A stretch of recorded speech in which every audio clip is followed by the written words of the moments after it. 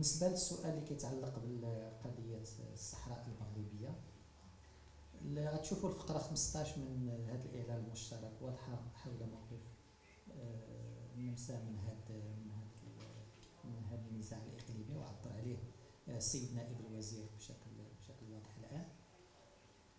هذه هذه واحد السنة ولا سنة ونصف القاعة. كنت قلت بأن أوروبا خصها تخرج من مجال الراحة اللي كان عندها la zone de confort وبأن يجب البحث عن حل لهذا النزاع وليس فقط دعم مسلسل يمكن له يطول واللي يبقى سنوات لغياب إرادة لدى الأطراف الأخرى. وبأن الاعتراف الأمريكي آه، فتح القنصليات كانت فيه إشارة كذلك إلى دول اللي هي معنية بهذا النزاع هذا لقربها منه واللي هي الدول الأوروبية.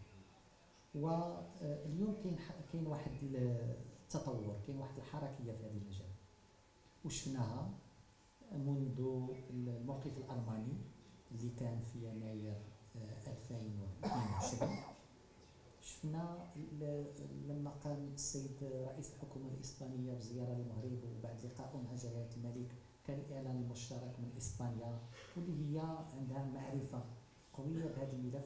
بحكم التاريخ وبحكم الجغرافيا كذلك.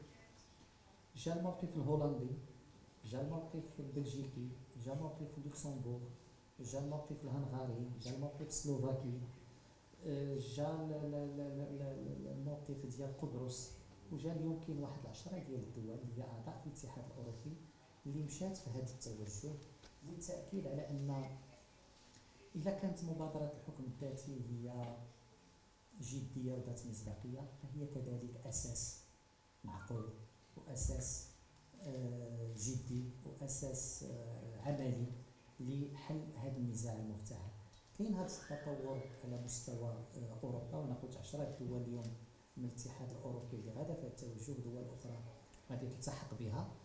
وكان شار لها جلالة الملك محمد السادس في خطاب العرش في هذه السنة بذكر هذه الدول اللي مشات في هذا في هذا في هذا التوجه.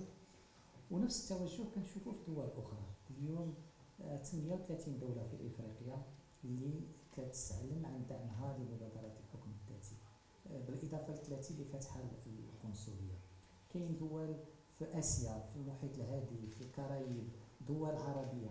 إذا ف بحال قلت القطار غادي القطار ديال أن هذا الحل ما يمكن له يكون إلا في إطار الأمم المتحدة وأن هذا الحل ما يمكن له يكون إلا في إطار بالنسبة للمغرب في إطار مبادرة الحكم الذاتي في إطار آه إرادة اللي خصها تعبر عليها الأطراف لإنهاء هذا النزاع اللي آه عنده تأثير آه كبير على الأمن والاستقرار في شمال إفريقيا وفي حوض البحر الأبيض المتوسط. شكرا.